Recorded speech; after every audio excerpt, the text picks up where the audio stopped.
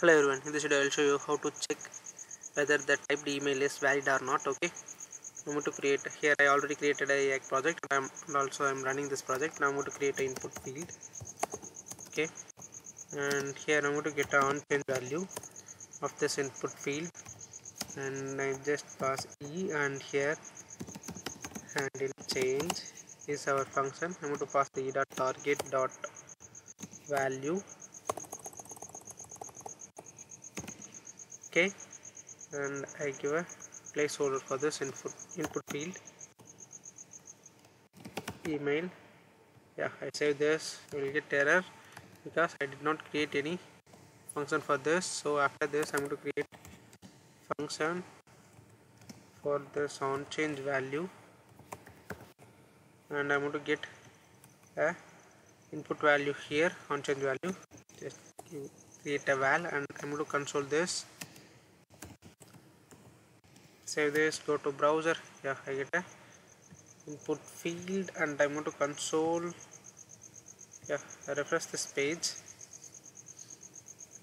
Yeah page is refreshed and I just type q. Yeah I get a on change value in console. Now I'm going to check whether the typed email is valid or not. If val dot match. I'm going to copy this okay symbols. If email contains this symbols means email is true okay I mean that is a correct email ID so going to create one state for a email I mean error message const error and set error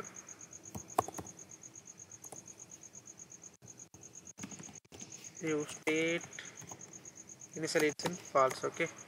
It's in state is imported here. I'm going to copy the set error. And here i just pass a false because email is true. So i don't want to show the error message.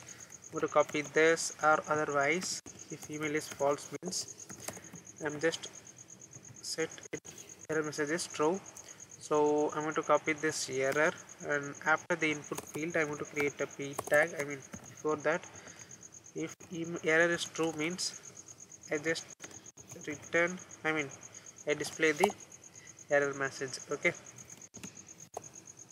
Enter valid email okay? If error message is false means I mean email is correct means we don't want to show this error I will put this in one line.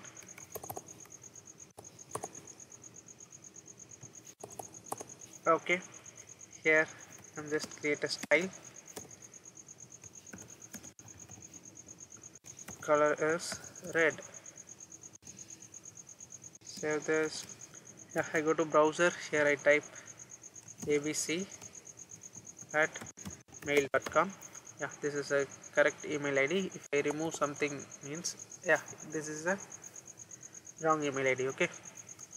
This is what i try to tell in this video. Bye bye